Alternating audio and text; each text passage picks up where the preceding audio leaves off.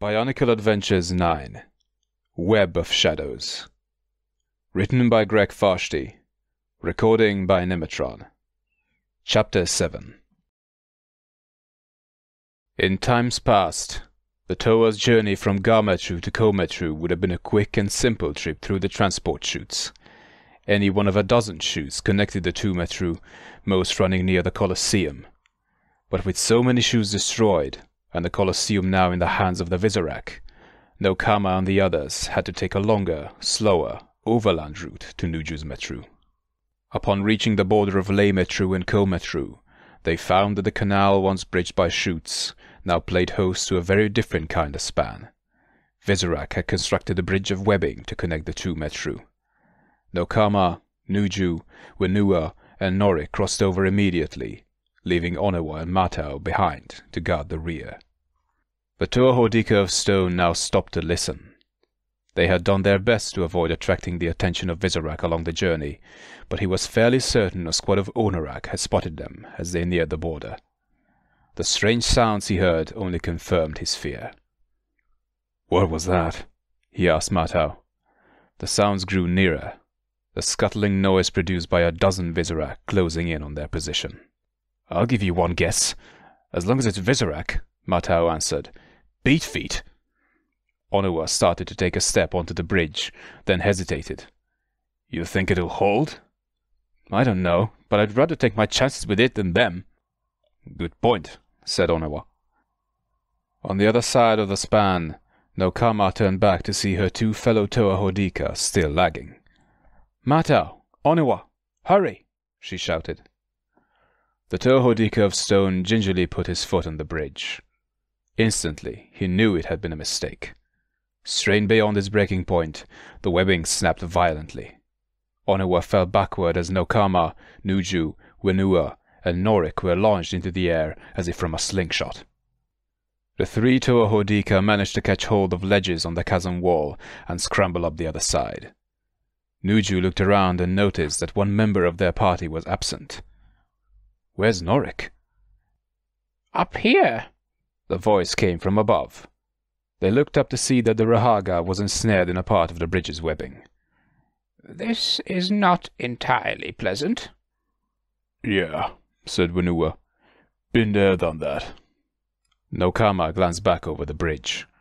Onewa and Matau were now effectively stranded. Worse, she could see the vague forms of Onorak approaching them through the mist. In a matter of moments, her two friends would either be captured by the Visorak or forced off the edge and sent plunging into the canal to their doom. And the terrible thing is, I am not sure which fate would be worse, she said to herself. Vakama stood in what had once been Turaga Dume's inner chamber in the Colosseum, later converted by Makuta for his own dark purposes. The centerpiece of the room was a dark, twisted throne. Even empty, there was no mistaking the fact that this was a seat of power. Go ahead, Roodaka beckoned. Touch it. Vakama reached out and let his fingers brush the throne. In that instant, his mind was flooded with shadows, images of evil deeds past and those to come, and a vast, all consuming contempt for any who stood in opposition to his desires.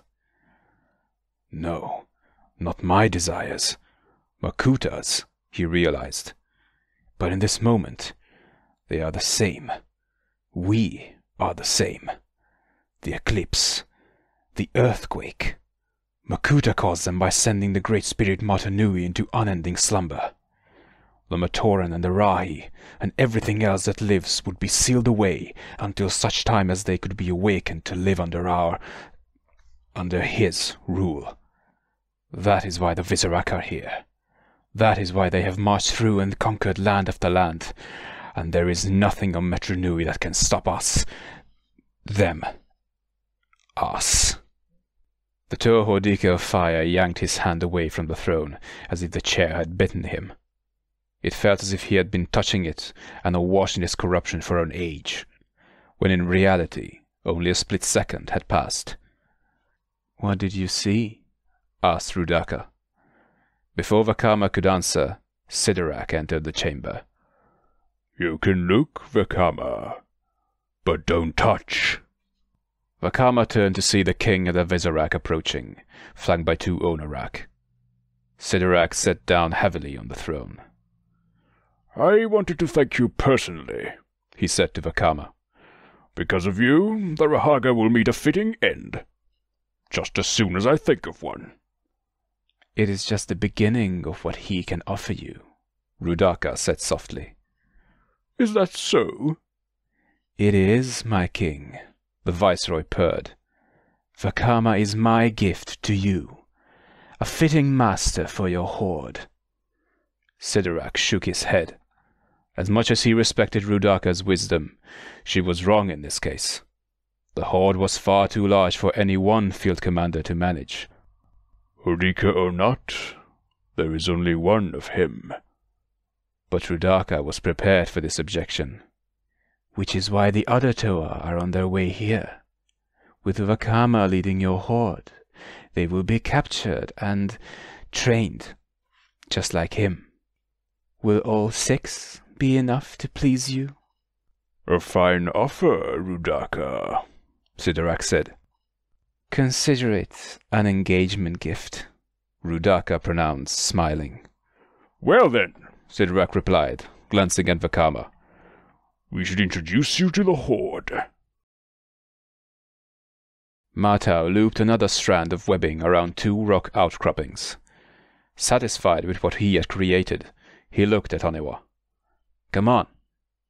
You're not thinking what I think you're thinking, said the Toa Hordika of stone. Matau pulled the webbing taut and tested its strength. Then he stepped into the center of the makeshift slingshot and backed up against the resistance of the webbing, stretching it out. Yes, you are, said Onewa, stepping over to join the Toa Hordika of air in the center. I knew there was a reason I always liked you. Working together, they forced the webbing back, back, until it was strained to the limit. Tight hold, said Matau. Onewa grabbed onto his fellow Toa. Then they both lifted their feet from the ground, and the slingshot snapped forward, launching them out over the chasm just as the Onarak burst into view behind them. Spotting Norik entangled below, Onewa reached down and grabbed him. Going our way? We did it, shouted Matau. We're going to make it. But the Toa Hordika of air had spoken too soon. With the added weight of Norik, their momentum was spending itself too soon. They began to arc down toward the water below. Or not, added Matau. The Toa Hordika and Rahaga slammed into the water. Above, their three allies watched with concern. What do we do now? asked Whenua. Seeing as Norik is the one that knows the way to Keetongu, said Nokama, we swim. She ran and jumped off the ledge, executing a graceful dive into the canal. A moment later, she disappeared beneath the surface of the liquid protodermis. Whenua looked at Nuju. Oh, brother. The two Toa stepped to the edge, steeled themselves, and jumped off. Sidorak marched boldly through a Colosseum tunnel, Vakama dutifully following behind.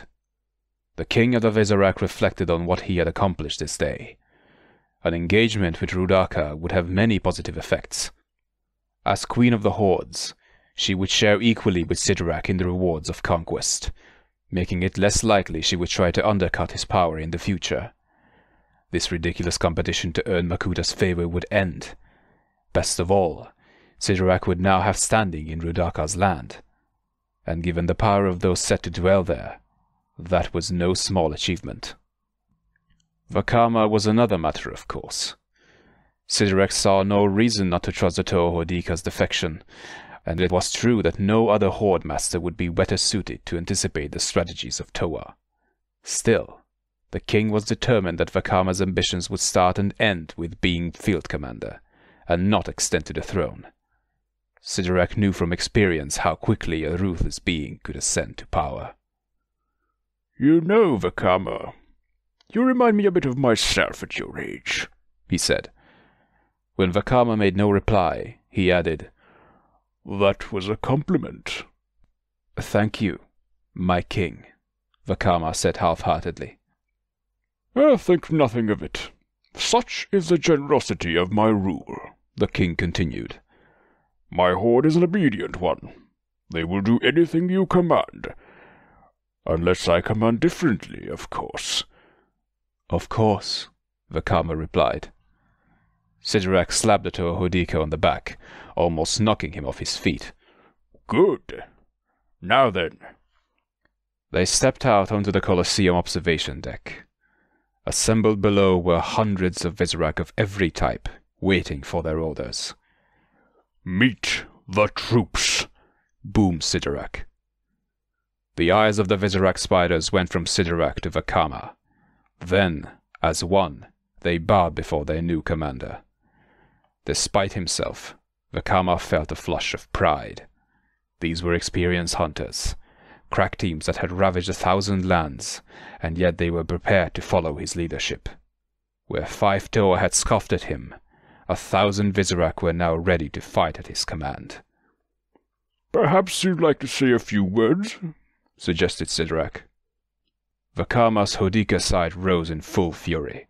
He gave a roar that shook the Colosseum. The Visorak horde rose to its collective feet and responded with a roar of its own. From a distance, Roodaka watched the scene unfold with pleasure. As Viceroy, she had limited authority over the Horde, and many of the Visorak refused to do anything without Sidorak's stated approval. But now Vakama ruled the Horde, and she would rule Vakama. Sidorak doesn't know it, she thought, but he just became expendable. The Toa Hordika flew through an underwater chute at a frightening rate of speed. Unlike the above-ground chutes, this one was still functional, evidently from some power source previously undiscovered by the Matoran. That explains how the Visorak got to Metru Nui, thought Nokama as she rocketed along. There must be other chutes under the sea that are still operating, though I can't imagine how. Her eyes, more accustomed to seeing underwater than those of the others, detected something strange ahead. The chute curved upward abruptly and seemed to be ruptured in places. She could feel a chill in the water as she drew closer to that spot. The next instant, she was no longer in liquid protodermis, but skidding along a sheet of ice inside the chute.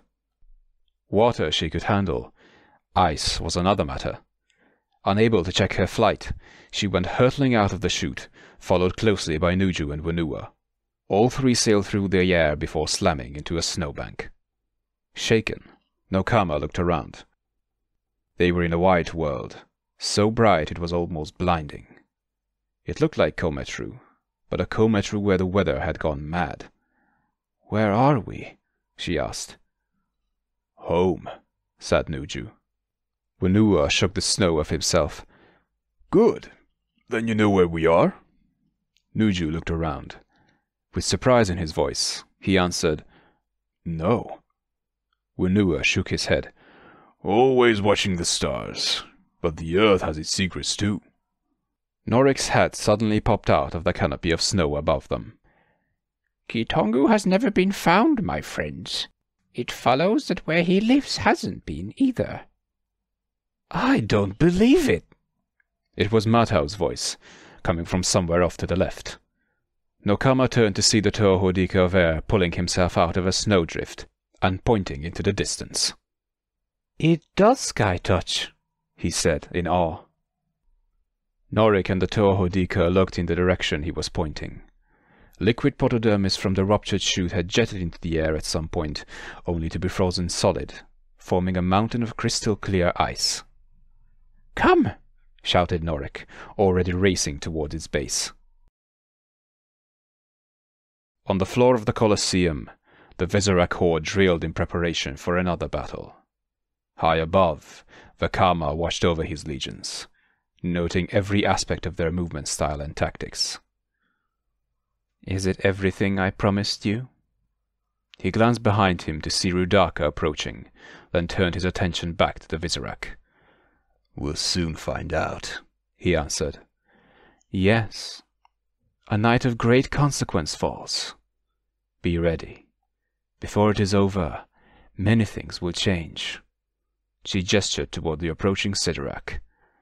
Here comes one of those things now. The king of the Visorak joined his viceroy and new general. How is my horde, Vakama? Obedient, answered the Toa Hordika, and ready, Sidorak, for anything that comes. Including Toa? Especially Toa, said Vakama. Sidorak surveyed the scene. As king, he felt he should be issuing some order or offering counsel, but Vakama seemed to have everything well under control. Well then, what now? The hardest part, answered Vakama, gazing out over the city. We wait. End of chapter 7